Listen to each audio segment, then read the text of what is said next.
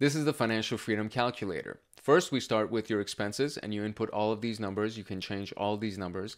And we have as many categories as we could possibly think of to cover somebody's life, including the vices and the things that nobody wants to talk about. And whatever the total is, that's going to be your current cost of living. And so that number is going to go into the monthly expenses section, and you'll get to see what your total annual expenses will be as well.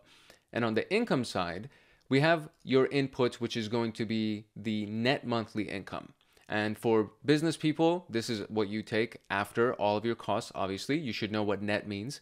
For corporate people, this is essentially after all the deductions from your check, whatever that final number is that goes into your bank account.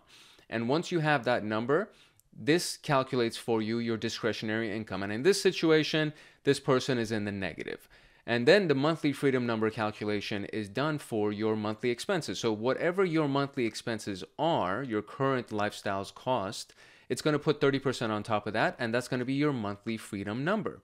Which then brings us to the conversation of adjusting for the discretionary and then solving for monthly income. How does somebody get a freedom number income without having to work? And this is the conversation of passive income or where all of that comes in. So the first thing is, why are we looking at a negative discretionary and how is this even possible?